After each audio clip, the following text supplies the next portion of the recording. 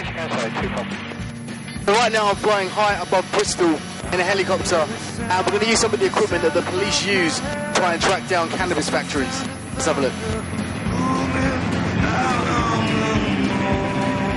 So where are we headed today? Where are we going to go fly over? We're going to have a look around uh, the Clifton area of the city and take a look at a few properties over there. Show you what the camera can do. Cannabis factories create massive amounts of heat, and this thermal imaging camera can identify hot buildings. It belongs to electricity firm Western Power, who normally use it to spot faulty power lines, but they regularly help the police in tracking down factories. So Alex, with regards to the cannabis factories, what are you looking for exactly when you're looking at that screen? Well, ideally, we're looking for any heat signature coming from uh, a house. That could be any vent from the uh, the roof. Uh, something slightly different to uh, a, a set of houses that it could be part of. Uh, and anything could be from any windows, anything from the top, really, as the heat rises. It should give us a fairly good heat signature. I'm going to take it around to the right initially. Okay.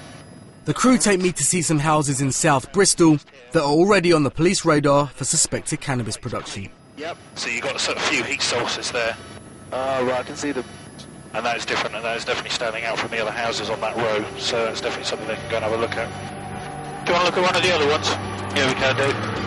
The police use helicopters to patrol the skies several times a month to look for factories. But look, there are so many properties below, it does make you wonder how many people are growing cannabis below.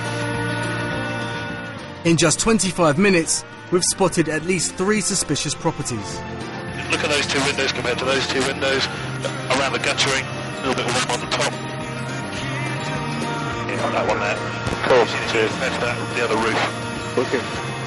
The joys of technology.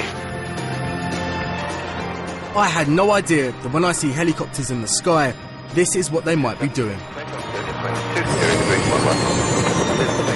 With thermal images and intelligence on the ground, police drug squads can then request a warrant to break in and search a suspicious property.